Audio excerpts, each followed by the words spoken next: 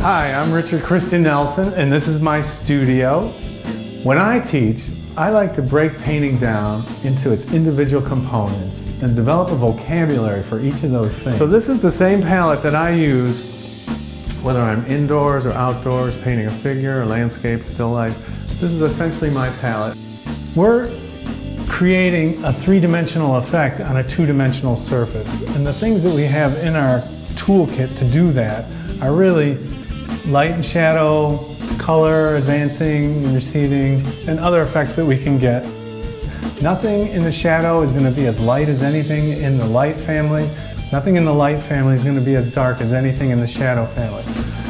But you always have to have a color wheel in your head as a painter because if you're painting something that's yellow, say, and it's too yellow and you want to mute that, you know automatically go to a violet. As I do my drawing, I can use this viewfinder.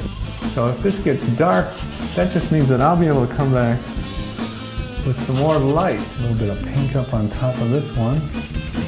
Make a note of that. That we would never put pure white on our painting. There's a highlight up here.